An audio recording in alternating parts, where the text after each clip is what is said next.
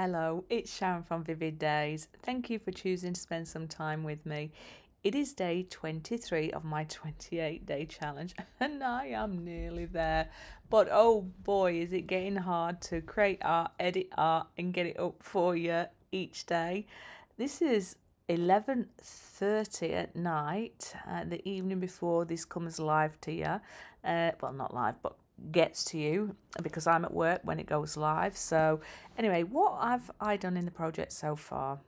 I originally applied my colours with a uh, baby cloth. Uh, that gives you a very soft coverage, but the cloth was actually not very great. Uh, it kept leaving residue on this really dodgy canvas that I've got left. I've only got six left, but it's not as good quality as what I had.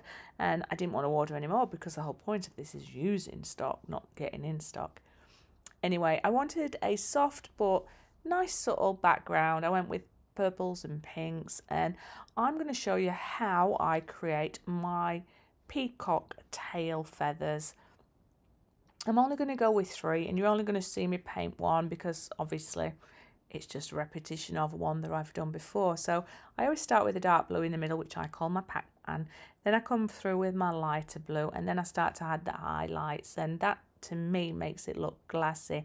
Now on my big peacock pieces that are done with oil paintings, normally I'll do my tail feathers multi different colours because who wants to paint a realistic peacock feather for uh, peacock should I say because to me they're magical, they're mystical, they are cleansing, they're everything positive. And so when I paint them, I like my tail feathers to represent the all seeing eye for the mystical part of them.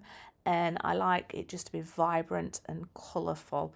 But for this piece, for part of my challenge, I wanted to just do a feature of three, show you how I do them and uh, uh, yeah, show you the technique. But it made me chuckle at the end because of the composition of where I've put them. Um, I'm thinking, now does it look like uh, peacock, abstract peacock feathers that are mystical? Or does it look like a pooch or a poodle? Well, I'll let you decide that. So when I look at it, so I'm tempted if it's going to continue to bug me, I will come and add two uh, at a later date for myself and have a composition of five. However, it still makes me smile. So isn't that the point if it goes in my little wall of collage of the 28 days? Anyway, I'm rambling because it's very late at night. If you are new to my channel and you think my videos are worth it, please consider subscribing. Give me a thumbs up also if you are watching it and let me know uh, what you think to this. Comments are always welcome. That's what really helps me with my channel. It's what gives back to me. So if it is the first time that you've been watching um, this 28 day mini, mini challenge, what that is about is me just trying to find a way to be more creative, connect more with my art and brushwork, look at possibilities of composition, colour schemes, and hopefully by doing this mini challenge and um, it's going to flex something in me that I didn't know was there. But if you watch my previous videos, that will talk you through that a little bit more. But I will be so glad when I'm at the end of it so I can have a, an evening off. Evening off with my Neil, maybe watching a movie and annoying him. And uh, maybe start to work on other projects. Can't wait to show you some art journaling I'm doing and maybe some other projects. Now, I do have Neil at the side of me making funny uh, little faces to me as I'm talking. And I've got the two fur babies, uh, Thor and Zeus. The cats are outside somewhere. And they're actually being quiet, so I'm able to actually talk to you. Anyway, I just wanted to say thank you to everybody that watched my Spanish flamenco yesterday. Much appreciated. Or should I say that's today, actually. Uh, so thank you, Audrey Will Wills. I hope I've said that right. Uh, glad that you can see movement in there. Thank you, Paula. I'm glad you can hear the swish in your dress and the vibrations of her stomping her feet.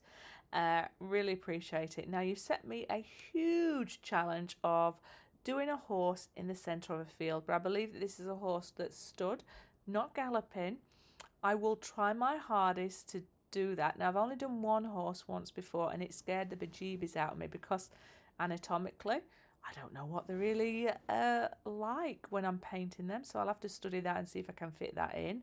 Uh, thank you, Andrea. I'm sure, uh, I'm sure, I meant to say, I'm glad you enjoy this. And Miss Wanda's Blessed Creations.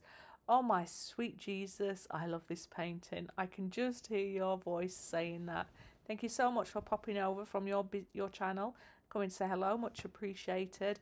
Annette, Trisha and Sherry, also thank you for watching this. So I am going to now just put a little bit of music on. You're coming to the end of this uh, and hopefully you'll relax. Hopefully you'll come back and watch the final few days and hopefully you enjoy this abstract peacock piece. Now do make me uh, aware, can you see the peacock all-seeing eye or do you see the poodle like I see or, or some kind of weird animal. What's what? Which is, put your teeth in, Sharon. Which is cute, but yeah, brings a smile to my face. Anyway, I'm Sharon. I'm digressing. I need to get to sleep because I've got to get up in a few hours, repeat, and do it all over again. Bye bye.